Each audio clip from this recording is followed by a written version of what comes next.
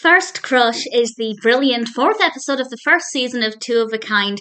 This is an episode that I don't remember very well from my childhood, and I guess I'm watching it for the first time in maybe 20 years, so I don't blame myself necessarily for not remembering it, but I'm glad I didn't because I was able to view it with a fresh perspective, and I have to say I rather enjoyed it. The subplot involves Carrie having eyes for Rick, who is in her class, in one of Kevin's classes, and things seem to be going well between them. But then Kevin finds out something, and he's not sure whether he should tell Carrie because they've agreed to keep out of each other's private lives. That part of the narrative was interesting enough. I quite liked it, and definitely it felt a little bit more than just padding. So that was part of it that I enjoyed. The main narrative, of course, focuses on Mary Kate and Ashley, and Ashley's crush Pokey is her um, partner for a project they're working on, and he is in their home, and Kevin Kevin meets him, which is uh, very entertaining.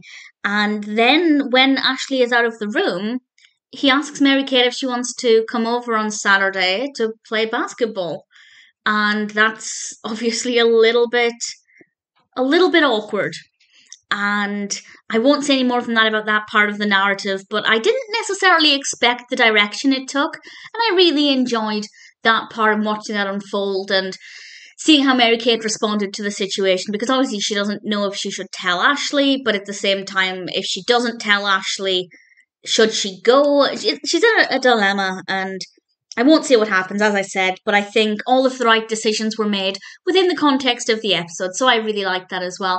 And there are two moments that I love right at the end. This doesn't necessarily spoil the narrative, but these are two scenes that happen at the very, very end. So I haven't got anything else to say about this, other than actually, no, I do want to say the scene at the beginning where Carrie jumped on Eddie. Really enjoyed that. But my two favourite scenes were actually right at the end. So these, I guess, are spoilers for things that happen at the end. And the first is when Mary Kate and Ashley are lying in bed and they're basically saying nothing would ever change between them, no boy would ever come between them. And it's just so sweet and so moving. And then it goes silent, and then Mary Kate just says thank you. And it's it's just beautiful. And I really thoroughly enjoyed that. And then after that heartfelt, sentimental moment, we cut to the next scene the following morning, and the girls have found the note that Carrie wrote uh, the woman's name on, and also wrote that she had great legs. And since Kevin had previously said Ashley can talk to him about boys, since he is one, they turned things around and said the same thing that they can talk to them, or he can talk to them about girls, because they are girls. And i just i really enjoyed that. And then they were chasing each other around the kitchen. It was just a really fun way to end the episode.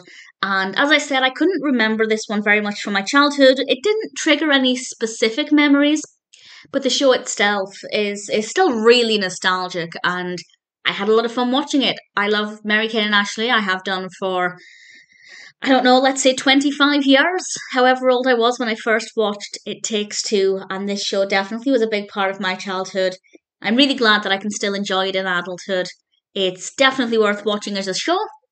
And this episode as well, First Crush, is particularly great.